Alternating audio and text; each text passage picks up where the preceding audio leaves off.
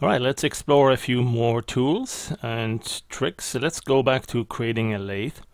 Uh, this time I want to show some of the uh, Boolean operations that you can use to create something a little bit more sophisticated um, if you think outside the box. Essentially, uh, you know, we've all seen these uh, chairs that look like from uh, futuristic movies. Uh, basically, imagine we want to cut, carve out or cut out a hole out of this.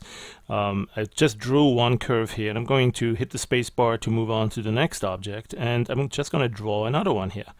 And it's a little bit big. Um, maybe we can make it smaller or undo that.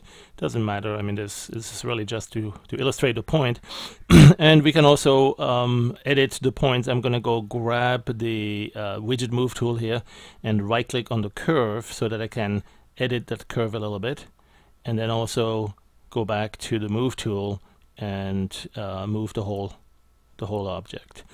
Uh, it's actually moving the curve, but since that's the only curve there in this particular case, it moves the whole object. Anyway, so let's say I want to use this second part to carve out a hole from the first part. Right, and basically what we do is we group them together in a way that the cutting part is the child and the parent object is the one out here. And what we see here right now in the upper left is that the lathe is the first part and that's lathe number 9 and then lathe number 11 was the second one. So all you got to do is grab it and drop it over to the lathe number 9 and in this case um, and then you click it and that becomes the selection for actually the whole group now. So that this this operation I just did was to group uh, the two together and make sure that lathe number 11 is identified as the child to the parent object, which is lathe number 9. And at this time, you can group, select number 9 and go, that's the parent, and go to the model tool and look at subtract children.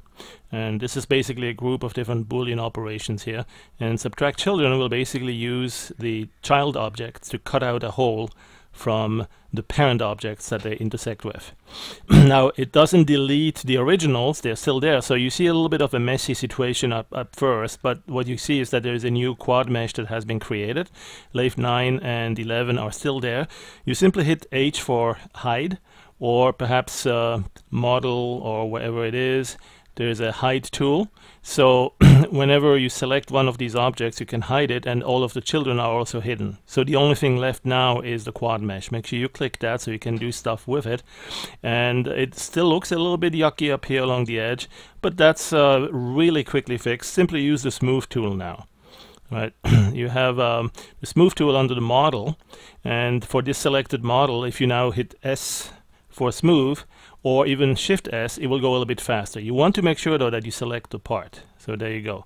Shift S a couple of times and you're going to have a nicely curved surface. That of course you can do a lot more too. You can uh, grab for instance the widget move tool again and we're now working at the at the uh, mesh level so we can do all sorts of funky stuff with that.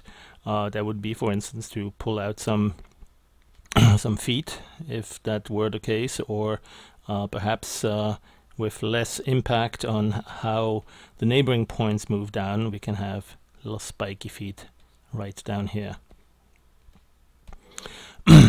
That's uh, a first look at uh, using the Boolean operation to cut out holes. Of course, uh, you can create all sorts of really wacky stuff with that, and it really helps to uh, think of you know, how would you use a drill bit perhaps to go carve it out and to cut stuff out of this.